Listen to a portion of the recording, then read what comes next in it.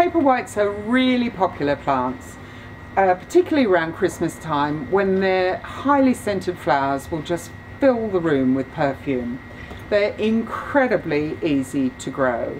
Generally they're grown in pots with compost, but quite frankly, all they need is a bit of light and water and they're away. So you can also grow them in things like this glass vase.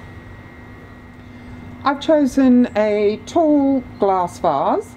Um, the height is good because that's going to help support the stems as the paper whites grow. They do get pretty tall. And in the bottom I've just gently placed a layer of decorative cobbles. You can use pretty much anything here though, shingle or coloured marbles, whatever you think looks nice.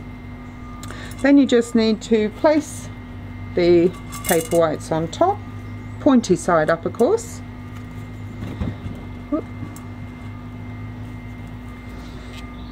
Doesn't mind being overcrowded, they'll give you a much better display.